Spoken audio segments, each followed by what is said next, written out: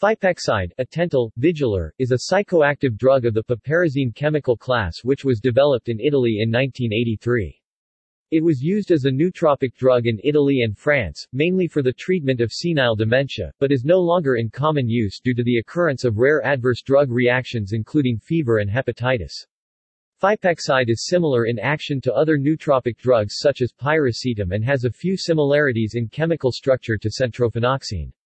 Chemically, it is an amide union of parachlorophenoxyacetate and methylenedioxybenzylpiperazine MDBZP, and has been shown to metabolize to the latter, which plays a significant role in its effects.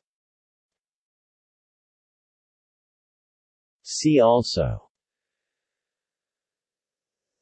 Substituted piperazine Befuraline Piberaline References